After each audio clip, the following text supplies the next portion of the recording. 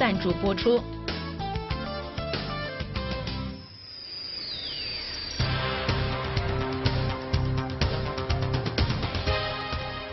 统计局发布最新数据，本国六月非农业平均周薪微升百分之零点二，到九百一十九加元。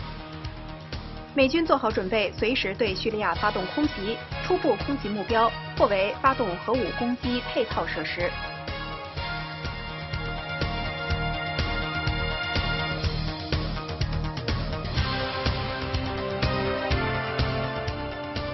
各位观众朋友，今天是八月二十八号，星期三，欢迎您准时收看今天的国语晚间新闻节目。首先还是来关注本地方面。今天早上，多伦多一名十个月大的女婴被发现在浴池中溺水，后经抢救无效死亡。事发地点在 Dufferin Street 沿线，距离自由城不远的一栋公寓中。今天早上十点四十八分左右。警方接到报警电话称，一名女婴在浴室水池中溺水。随后赶到时，该名女婴已经失去重要生命体征，送院不久后被宣布死亡。警方初步调查结果显示，这名女婴由于无人照看，独自在浴池中有十分钟之久，之后溺水。进一步调查正在进行中。多市昨天降下暴雨，导致市中心部分地区遭水浸，多部车辆被困，当局出动消防员解救受困的民众。经过昨天的暴雨，多市中心多个地区遭到水浸，两部出租车在市中心一个高架路下被困。前往现场解救民众的消防员称，由于积水浑浊，司机容易估错水深而因此受困。另外，公车局还报告，市中心 Museum 和 Bathurst 地铁站有少量积水。此次暴雨主要集中在大多地区偏北部，西端则只有轻微降雨。多伦多电力局也没有报告用户供电中断的个案。昨天下午，一名女性在汉伯理工学院前被路过的车辆撞倒，后经医治无效死亡。警方表示，该名女性在昨天下午三点半左右，在位于 Humber College Boulevard 一条人行横道上被一辆货车撞倒。医务人员表示，在到达现场时，该名女性已经失去呼吸，但随后还是被送往医院进行急救，但最终死亡。警方初步调查结果显示，被撞女性在走下一辆巴士时被随后经过的货车撞倒。事发后，货车司机留在原地等待警方审问。一名男子骑自行车，今天早上在多市东部被车撞倒，目前已经送院治疗，但伤情未逮。撞车事故发生在 Kennedy Road 加 Kingston Drive 附近。根据警方报告，这名42岁的骑自行车男子于今晨5点50分左右，在穿过 Kennedy Road 时，被一辆南向行驶私家车撞倒。事故发生后，私家车副驾驶位置挡风玻璃碎裂，而骑自行车者被甩出几米远。事发后，私家车司机掉头返回现场，等待警察进行事故处理。警方表示，受伤男性已经被送往医院进行紧急治疗，而事发路段则被警方封锁，已进行调查。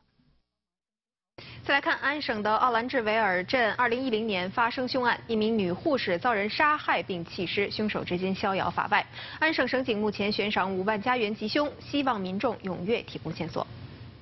二零一零年八月三十号，本案死者四十二岁的 Sonia Varachin 失踪。九月五号，她的遗骸在卡利登市被发现。此外，警方还在死者住处以及车辆上找到血迹，怀疑死者遭人杀害后弃尸在奥兰治维尔。在去年，警方曾经回到弃尸地点重新搜索线索，并开始搜集死者周围男性的 DNA 样本。在今天的新闻发布会上，省警再度呼吁民众提供凶手线索，并表示，无论线索多么细微，只要能够帮助将凶手绳之以法，提供者都可以得到奖金。加拿大统计局最新的报告显示，非农业员工今年六月份的平均周薪是九百一十九加元，比五月份增长了百分之零点二。最新统计数据显示。非农业员工今年六月的平均周薪比去年同期增长百分之二点六，平均周薪的年增长在五个行业内超过全国平均水平。其中，行政和护理业平均周薪增长百分之八点一，达到七百六十四元；在批发贸易行业，平均周薪增长了百分之四点九，达到一千一百零七元。而在科技科研行业，周薪上涨百分之三点六，达到一千二百七十三元。唯一无增反减的是餐饮服务业，这一行业人群周薪在上一年降低了百分之二点二，为三百六十二元。好，接过新闻之后，我们稍事休息，广告回来为您带来国际方面的新闻，稍后见。全新英文财经报道，洞悉中国到亚洲的经济动脉，发放更全面的财经信息。Chinese factories profit rises in July, but overall profitability remains thin. China's telco giants release first half results, and mobile internet players eat into their profits. And the eurozone economy finally picks up, shrugging off the longest recession on record. 财经亚洲从星期一到星期五准时为您报播，用英语纪录片的形式来记录变化中的东方，与世界各地的华人一起探讨。向您表示衷心的感谢，也祝愿到场的所有朋友身体健康，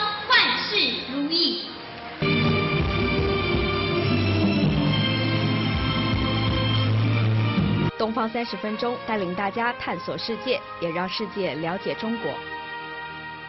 眼睛里边的晶状体的混浊引起的一个疾病，那么最常见症状就是看不清楚。发现呢，白内障可能和紫外线、和营养、和身体的这个身体素质、和身体的其他疾病都有关系。主要都是吃的药了，效果都不怎么好，都是一般通通血管呐，滴滴盐水啊。过过度的或者是过重的对眼球的按摩，对眼部的组织是一个损伤。将中国各地的历史人文和发明改变娓娓道来，由观众去发现和研究，以学者的角度专业评述。用英文将中国的文化传统发扬到世界的每个角落。The subjects of medieval European paintings are posed in a stiff and lifeless manner. Chinese paintings are graceful and engaging. What characteristics of the era are found in their art?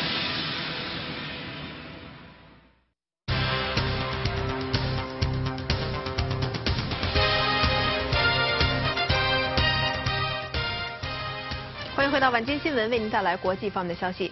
叙利亚局势进一步紧张。美国声称监听叙利亚军方通话，确认叙利亚军政府曾经使用化学武器。美国最快明天采取有限度的军事行动，方案包括发射战斧式巡航导弹或出动远程轰炸机空袭叙利亚政府军目标。美国传媒报道，上星期大马士革东部发生化学武器袭击的几个小时之后，美国情报部门监听叙利亚国防部一名官员与化学武器部门负责人通电话，要求化学武器部门回应这宗造成大量伤亡的化武袭击。美国官员相信袭击是巴沙尔政权的授意。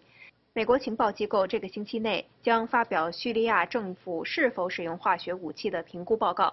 正在东南亚出席东盟国防部长会议的美国国防部长哈格尔表示，美军做好准备，只要总统奥巴马一声令下，就采取行动。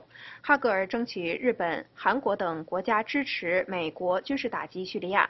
美国海军现有四艘导弹驱逐舰在靠近叙利亚的地中海集结，而第五艘导弹驱逐舰穿过直布罗陀海峡进入地中海。美国全国广播公司报道。美军最快明天发动有限度军事打击，部署在地中海的美军军舰会向叙利亚境内的目标发射战斧巡航导弹，暂时锁定近五十个打击目标，包括空军基地和指挥化学武器攻击总部。《纽约时报》引述军方指。美国动武的理由是叙利亚政府使用化学武器，但考虑到环境和人员安全等因素，美军不会直接袭击叙利亚的化学武器库，只会攻击使用化学武器的配套设施。奥巴马政府考虑分阶段发动攻击，第一轮攻击不会超过两天，之后暂停一段时间，评估效果后决定是否发动第二轮攻击，而目的并非是为了推翻巴沙尔政权。The options that we are considering are not about regime change. They are about responding to a clear violation of an international standard that prohibits the use of chemical weapons. 过去几天，奥巴马总统先后与美国、英国、法国、加拿大、澳洲等国家领袖通电话，商讨如何对付叙利亚。英国首相卡梅伦稍后召开国家安全会议，他强调使用化学武器是错误。国际社会必须采取合法措施制止。This is not about getting involved in a Middle Eastern war or changing our stance in Syria or going further into that conflict. It's nothing to do with that. It's about chemical weapons. Their use is wrong, and the world shouldn't stand idly by. 法国总统奥朗德表示，会增加对叙利亚反对派的军事援助。阿拉伯国家联盟也谴责巴沙尔政权动用化学武器，但同时警告西方国家，不断提高军事干预叙利亚行动将危害整个地区，认为政治解决是结束叙利亚危机的唯一方法。么，叙利亚政府再次否认使用化学武器，表示准备好应付西方国家的军事行动。联合国化学武器调查小组再次前往实地调查，而以色列部署防空导弹以应对叙利亚可能发动的攻击。调查人员穿着防弹衣出发，他们的车队早前被枪击。小组基于安全押后一天，到今天再次离开大马士革的酒店，到郊区调查化学武器袭击的详情。美国传媒引述联合国官员表示，叙利亚总统巴沙尔的弟弟马歇尔。涉嫌策动此次化学武器袭击，他是叙利亚共和国卫队司令，也是巴沙尔政权核心人物。但叙利亚外长穆阿利姆再次否认发动袭击，又指政府一直配合联合国调查。对于西方国家可能发动军事攻击，他表示，无论美国是否采取军事行动，叙利亚都已经准备好全力保卫国家。由于叙利亚曾经表示，一旦西方国家采取军事行动，就会向以色列袭击报复。以色列军方表示，正部署所有防空导弹，以应对可能遭受的袭击。而坚持反对军事行动的叙利亚盟友俄罗斯，则继续从叙利亚撤侨，近一百人乘坐俄方安排的包机返抵莫斯科。不过，联合国重申，根据国际法，任何军事行动都需要得到联合国通过才能执行。好，我们再把目光投向日本。日本正式将福岛核电站污水泄漏事故的警戒水平升到国际核事故级别第三级。日本原子能规划委员会早前将事故列为零到七级中的第一级，今天宣布正式升为第三级，也就是出现严重事故。东京电力公司人员上星期发现一个存储冷却反应堆污水的水罐漏出三百吨污水。东电昨天表示。核电站人员接受的核辐射量自上月九号以来开始上升，因此泄漏污水有可能已经发生超过一个半月才被发现。日本舆论质疑电力公司为节省成本制造劣质储水罐，认为事件不利东京竞逐二零年奥运会主办权。首相安倍晋三强调，目前最迫切的任务是防止核污水进一步流入大海，计划政府出资尽快落实应对政策。美国首都华盛顿今天举行一系列活动，纪念已故黑人民权领袖马丁·路德·金发表“我有一个梦想”演说五十周年。大批民众汇聚在国家广场，重演五十年前的大游行。美国首位黑人总统奥巴马也在林肯纪念堂前发表了纪念演说。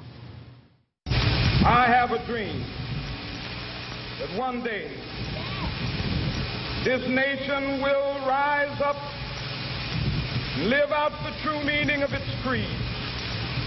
We hold these truths to be self-evident that all men are created equal.